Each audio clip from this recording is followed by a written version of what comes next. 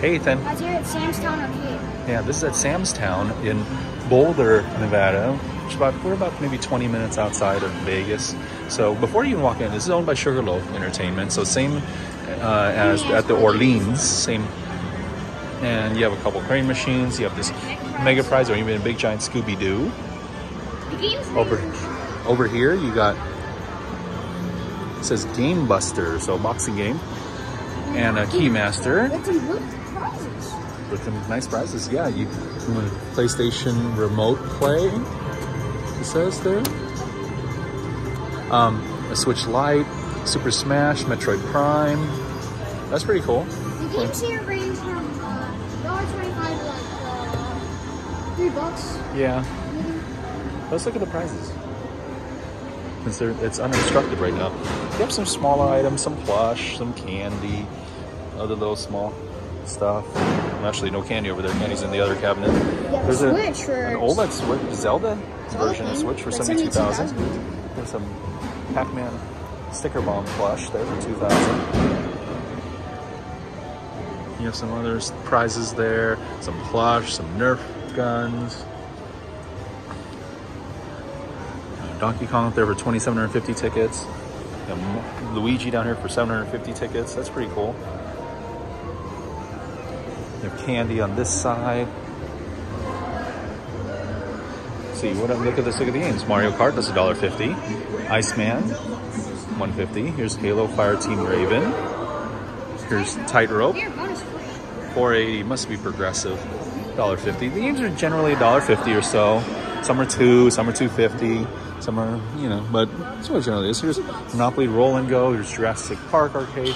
Here's a Barber Cut Lite where you win shoes or looks like looks like a little roller luggage but it's like a backpack Nike it says Nike on the front. That's pretty cool. Makes Krabby sense. Patty Party, uh, SpongeBob for 50 cents.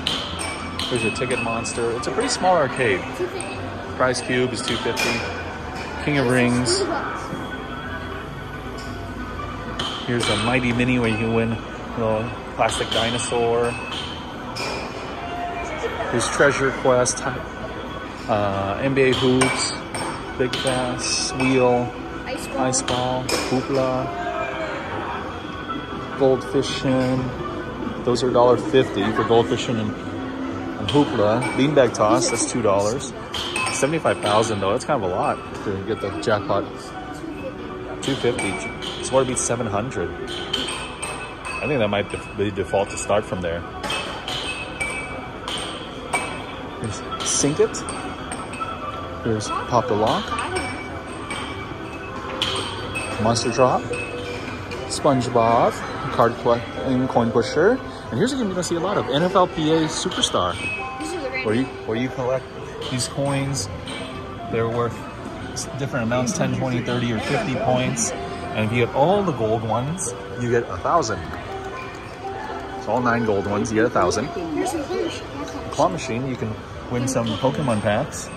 There aren't very many packs in there, but you win some Pokemon packs. That's tough. You win, here you can win Pac-Man plush, a big rubber duck. And the last machine we No, it's just some generic plush. So, and there is a bonus for when you buy, um, buy in bulk. That's what it is. So, you do get a little something extra. All right. I think that's about it, Ethan. Hey, it's not a big arcade, but it's over here in Boulder. If you're out here, hey, it's worth, maybe worth the stop in, huh? Mm-hmm. All right. Don't forget to subscribe. On to the next arcade, Ethan. Bye.